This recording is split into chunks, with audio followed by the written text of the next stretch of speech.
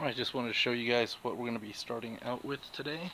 I've got um, an old used girl's bike here.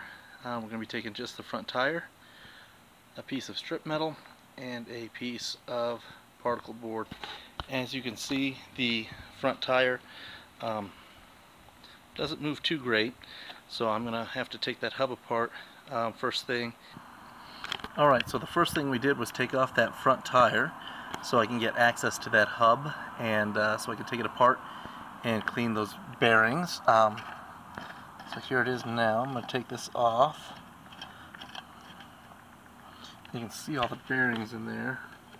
I'm just going to take those out and scrub them, get all the gunk out, and uh, replace them. Alright, now I just took the end of the hub off. You can see how kind of gross it is.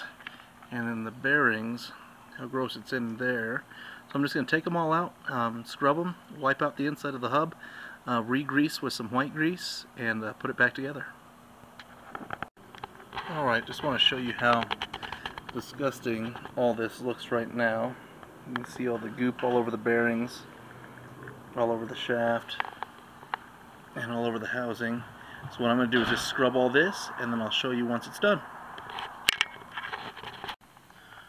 Alright, now we've cleaned out the, the hub here, as well as the bearings, and then both ends here you can see the big difference. Uh, I'm going to go ahead and reassemble it and add just a little WD-40 uh, for the lubrication. Alright, now that we cleaned uh, the bearings off really good and cleaned out the hubs, uh, put a good coating of WD-40 on there, reassembled it, and just want to show you the difference now. I don't know if you remember how it spun before, uh, but as you can see now it's a much uh, bigger difference. You can see that it's a little bit off balance, so once I take the tire uh, and the wheel off, um, hopefully it'll be a little bit more imbalanced. Uh, either way, you can see that it's definitely able to spin a whole lot longer uh, with a whole lot less uh, friction slowing it down this will really help us out once we add in um, you know, the other components of the overbalanced wheel.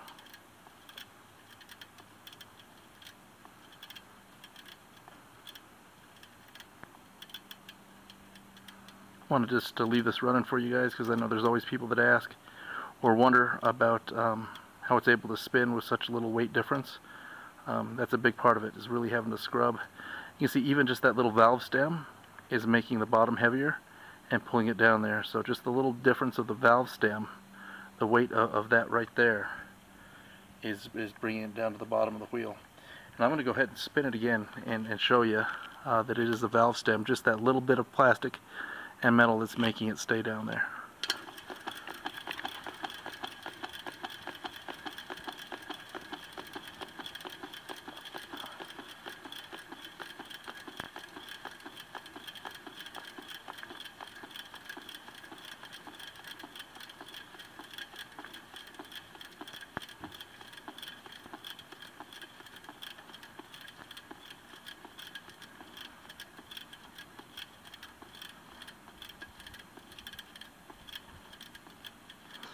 See the valve stem going around now.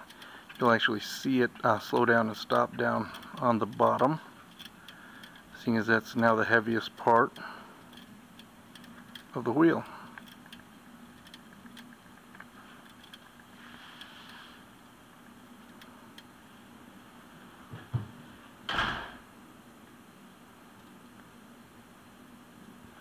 There you go. Now you see it. Alright, I just took the tire and wheel off. Um, so now it's just the rim. I'm going to spin it to show you just how much better it is now. And you'll also see that it's just a little bit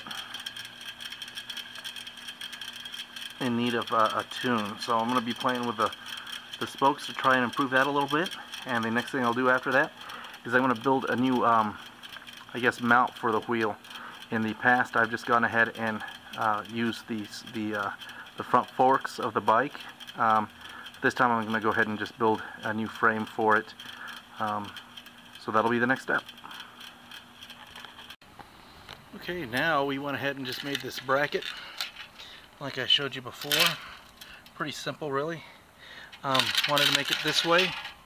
That way you could see that there's no motors or anything going on because I know that was a concern before and now this will be able to hold it. So from the front you'll be able to see absolutely everything going on.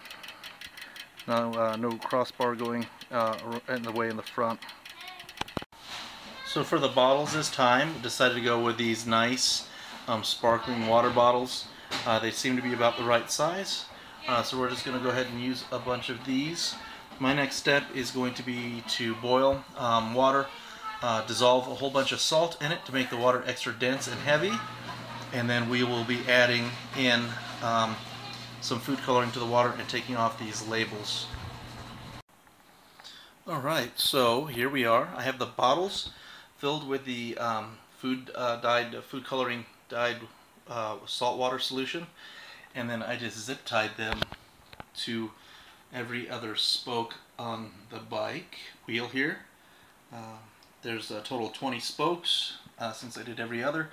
It's a total of 10 bottles. Alright, well that's it. That's the uh, completed overbalanced wheel. If you'd like to see it in action, uh, check out my next video. Thanks for watching.